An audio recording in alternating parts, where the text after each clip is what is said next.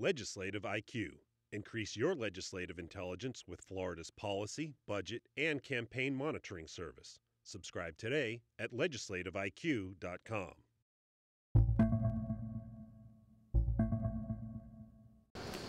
Florida's Board of Governors were told statistics show women graduates make less than their male counterparts a year after leaving school. Board member Ed Morton suggested teaching salary negotiating skills for women, but also said the gap may be genetic.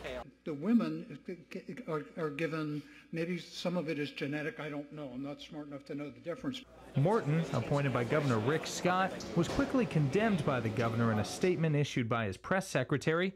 As a father of two daughters, the governor absolutely does not agree with this statement. Morton has since apologized, issuing a statement but refusing interviews. He says, in part, I chose my words poorly. My belief is that women and men should be valued equally in the workplace. This controversy comes after legislation failed in the 2017 regular session that attempted to close the wage gap between men and women. I want my whole damn More women than men graduate from Florida's universities. Still, women's starting salaries are $5,500 less than that of a man's.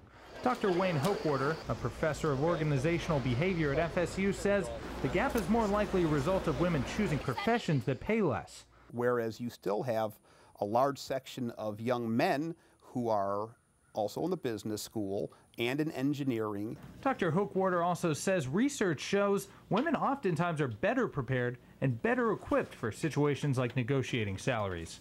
In Tallahassee, I'm Jake Stofan.